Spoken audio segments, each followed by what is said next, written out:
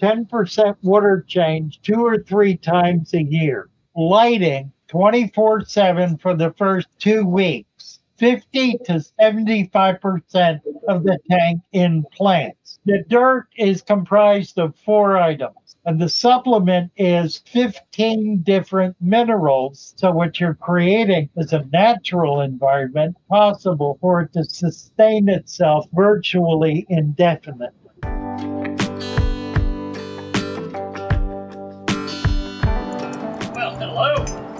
Right on in. You're at Father Fish. The dirt is comprised of four items. Number one, it's 50% some kind of humic material. Now, I use peat moss because peat moss is still available in the US.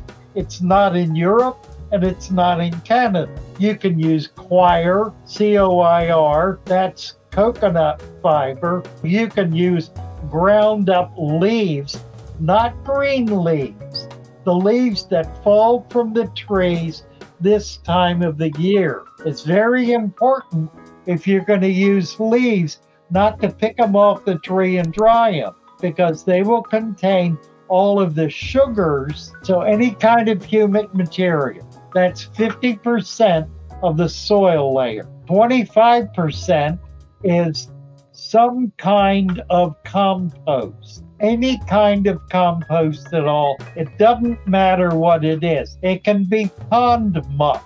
It can be black cow. It can be compost from your composter, any kind of composted material. So it's organic that's broken down. The third item is soil. All of this happens in soil. The third item is 25%. So we've got 50% humus, 25% soil, 25% organics, and then 10% father fish supplement. And the supplement is about 15 different minerals, any one of which could not exist in the mix you have, any one of which could be quickly depleted. What this does is bring those minerals into the material such that they will be there as needed. The reason for this is really very simple. You can't go back in and add them. You can put fertilizer in the water, but that's in the water. And fertilizer is a problem anyway because it screws with the hormonal activity that the plant is engaged in. Another element that we put in that substrate is buffers. And we've got a number of different buffers. Lime is one, bone meal is another, sodium bicarbonate is another. A fourth one is diatomaceous earth, all of which prevent the substrate from becoming acidic. If it becomes acidic, it becomes deadly. All of these elements will, as they become part of the plant life, part of the life of the other microorganisms in that soil, will be converted as those elements die and be returned to the soil in a life cycle. So it all cycles. It cycles as an environment. So what you're creating is a natural environment that cycles all of the elements of that environment in a way that makes it possible for it to sustain itself virtually indefinitely. Now, once the soil is put together, put water in it, create a mud, let it sit for a day. Of that material, you want no more than one inch in a tank less than 55 gallons.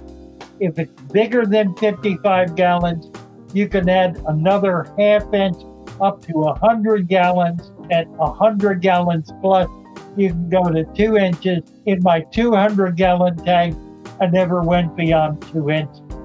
It's very important to have double the amount of sand as there is soil. So, in less than a 55 gallon tank, one inch of the soil mixture, two inches of sand. And the reason for this is the soil is going to rise up in the sand, but it'll only come up as deep as it is. In other words, it'll come up about one inch into the sand. So if you've got two inches, it's not going to escape into the water column. It'll still be in the sand bed. And as it does rise up, the plant roots will be able to use that as nutrients. In the beginning, when you first set this tank up, the organics are extremely active. You got a lot of bubbling, a lot of gas, a lot of chelation going on.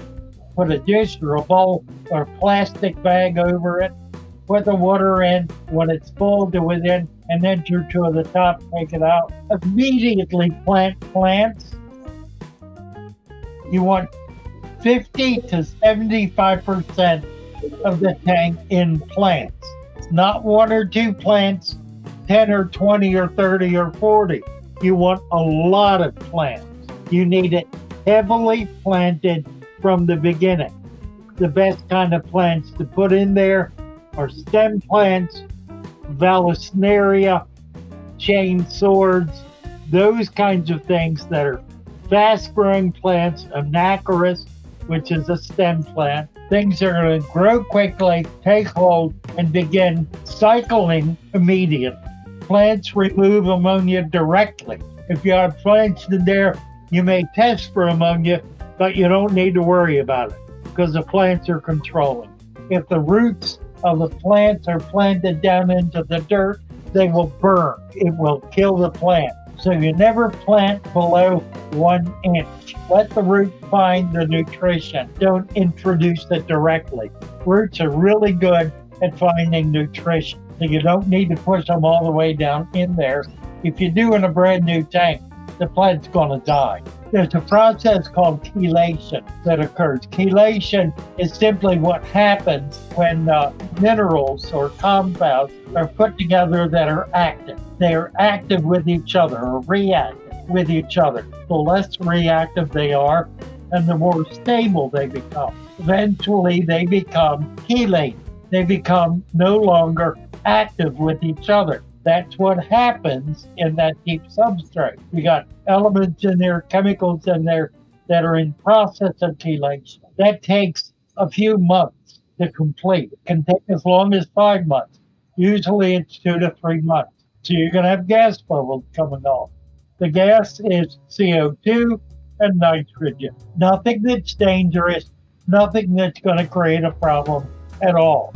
You got buffers in there that are preventing it from becoming acidic. It's not going to be toxic.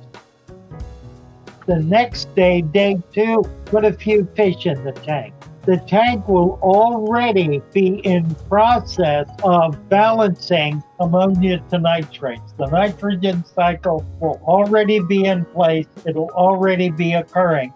The plants will be absorbing ammonia as it's created. Now, clearly, you don't want to feed heavily in the first week or two. When I put a few fish in there, I do not put food in there. I don't put food in for the first week, none of any kind.